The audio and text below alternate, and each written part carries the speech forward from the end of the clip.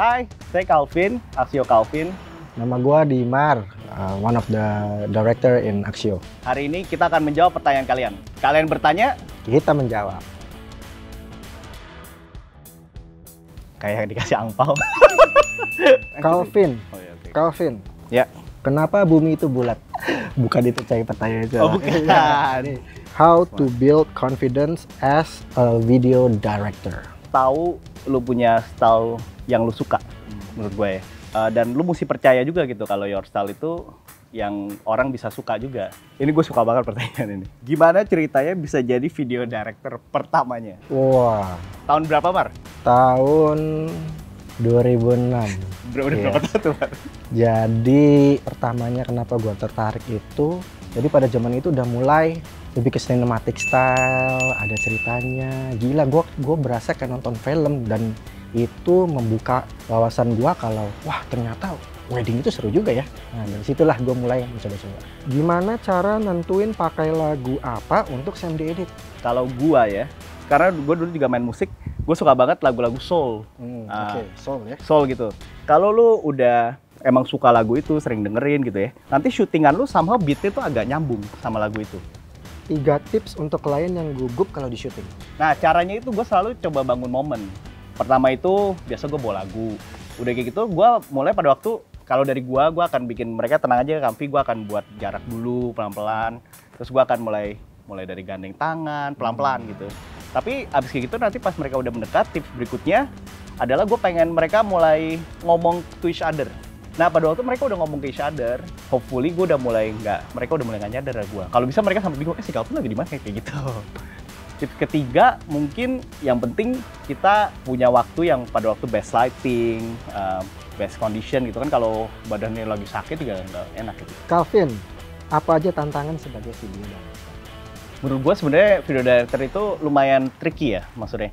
Kita mesti um, bantu klien get their best angle, best apa um, feeling moment segalanya. Kita mesti capturing things yang going on dan juga kita mesti bagi waktu kita untuk ngedit dan uh, shooting juga gitu ya. Ya, Mar, ini Hmm. pertanyaannya agak mirip seperti Hmm. tadi. Apa? Hal apa yang paling disenengin selama menjadi video director? Ya yang paling gue senengin ya I get to travel to a lot of places, meet uh, different people from different background. Even like my last wedding itu di Solo itu gua sih merasa gua gua touch sama father figure-nya gitu. Itu yang menurut gua gila nih ini cuma ada di kerjaan gue nih. Gue bisa ketemu orang segitu Yeah. banyak ya yang yang apa ya menginspirasi gua gitu. loh. Yeah. How would you describe your video style? Timeless. Uh, kedua itu soulful. Ketiga itu tuh classic, authentic. Bener-bener kejadian di wedding lu. Ceritain satu project yang berkesan. Dalam sekali ini ya. gue pernah syuting prewedding uh, di hari pertama pas gue sampai typhoon.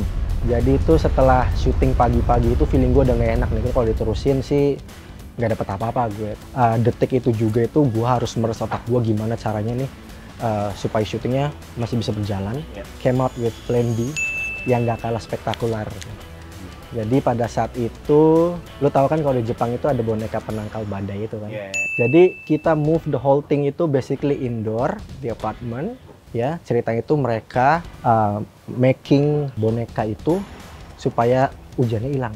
They have fun throughout the Yeah. uh, shooting. Yeah. gitu. Apa arti cinta untukmu? Bohong pertanyaannya? Sumpah bos. Kayak gue sama my wife itu gue ngerasa we go through a lot of things together gitu. Terus apa ya kayak sacrifice gitu loh. Kayak it's not bukan about her anymore tapi about me juga kayak aneh banget kayak jadi kayak gue ngerasa kayak wah ini bener-bener that is love gitu. Klien paling banyak request tempat kayak apa? Pada umumnya sih city kali ya. Tebakan gue sih mungkin kalau kayak tempat kayak Paris gitu, apa ya? Dia punya vibe itu yang ya itu klasik, elegan, sophisticated, gitu, and romantic. Bahkan nom- nomor dua gua adalah habis syuting bisa shopping. Tell us about a dream wedding scenario that you love to shoot.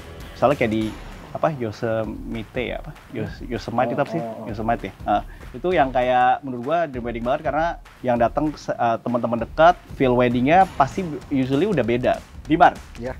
Gugup nggak sebelum syuting? Karena gue masih normal. stage Masih fright, normal, stage ya. fright. Di dalam setiap syuting tuh pasti gugup. Karena gue itu bakal pergi ke suatu tempat yang gue nggak tahu nih keadaannya gitu kan. Obviously gugup gitu. Cuma ya kadang untuk mengatasi kegugupan gue itu ya gue lebih suka uh, well prepared. Iya kayak gini aja nih gue udah tahu pertanyaan lu. Bercanda, bercanda, bercanda. Keep asking uh, dan mudah-mudahan jawaban kita menjawab pertanyaan kalian ya. Sampai bertemu lagi di kalian bertanya. Kita menjawab.